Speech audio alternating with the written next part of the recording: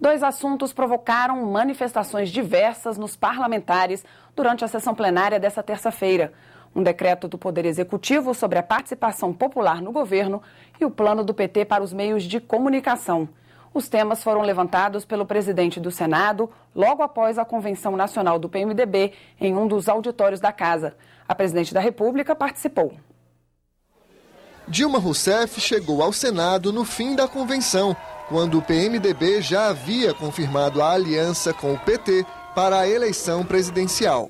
Depois da convenção, o presidente do Senado disse no plenário que a aliança passa pelo programa de governo e criticou uma das diretrizes lançadas em maio pelo PT, o controle econômico dos meios de comunicação. A simples menção ou pretensão de abolir o direito à liberdade de expressão a qualquer pretexto inclusive administrativo, financeiro, comercial, como ocorreu em países vizinhos, é insana.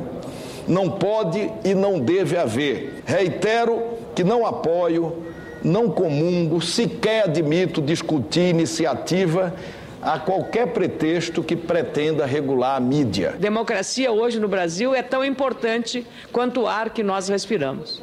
Então, esta profissão e este compromisso assumido por Vossa Excelência com estes princípios democráticos me tornam hoje mais confiantes. Só poucos têm condições de editar um jornal, só poucos têm o controle das concessões públicas de rádio e televisão. Isso é colocado em uma meia dúzia de mãos no Brasil que dão a opinião que querem, que formam a opinião que querem, que bloqueiam a informação para o povo brasileiro. Renan Calheiros também criticou a Política Nacional de Participação Popular. Lançada há duas semanas, propõe um sistema de consultas para que a sociedade civil opine sobre programas do governo.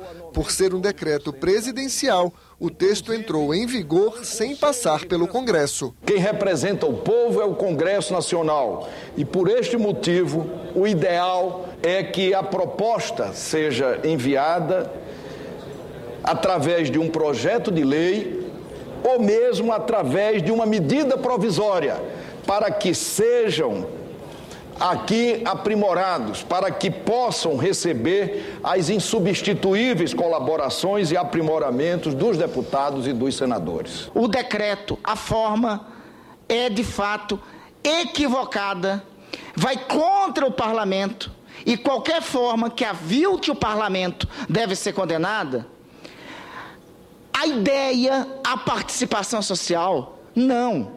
A participação social tem que ser saudada. Não retira atribuições do Congresso Nacional. Imagine, imagine se nós, parlamentares, temos a atribuição política de nos relacionar com as organizações da sociedade civil, é claro que o Executivo também tem essas prerrogativas.